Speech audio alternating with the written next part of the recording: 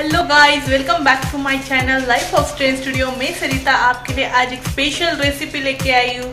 वो है सुनटुड़ा एक्चुअली हर जगह पे अलग अलग नाम से ये जाना जाता है। तो आपके यहाँ क्या नाम से ये प्रसाद को जानते हैं कमेंट करके ज़रूर बताना।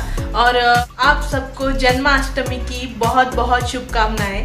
तो चलो देखते हैं रेसिपी किस तरह से बनाते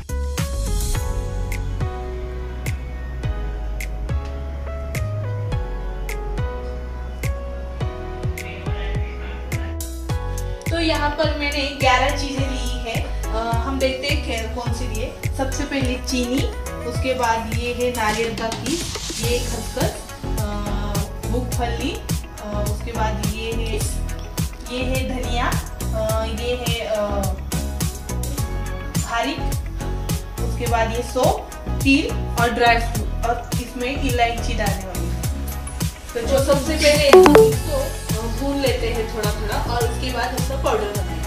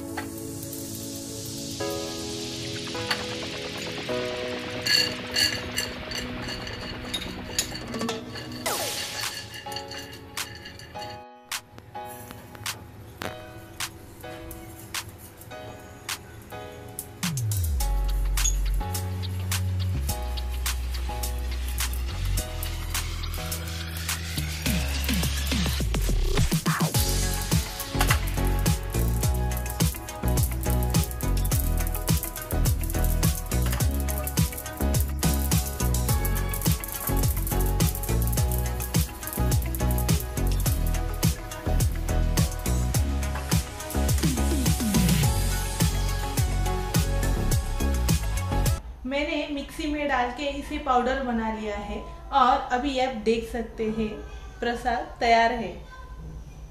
तो आपको मेरी ये रेसिपी कैसी लगी आप भी ज़रूर ये प्रसाद बना के देखना और आ, मुझे कमेंट करके ज़रूर बताना कि आपका ये प्रसाद कैसा बना।